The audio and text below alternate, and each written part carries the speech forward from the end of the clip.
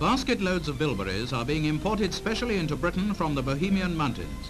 Demand for this fruit, particularly keen in mining areas, by far exceeds homegrown supplies. Resisting all temptations to eat the fruit while it's fresh, pickers send their day's haul to Prague, from where it's flown to Britain. Over here, miners' wives are snapping it up, as bilberries stay fresh for long periods underground.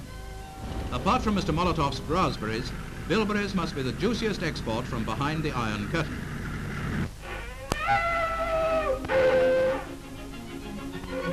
Hurry, hurry, hurry to the eighth wonder of the world. Hank the camel has a hump.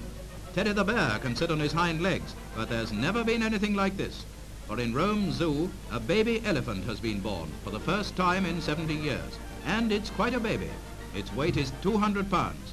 With that load to carry, apart from all the things she's not supposed to forget, Miss Elephant will have a hard time keeping straight.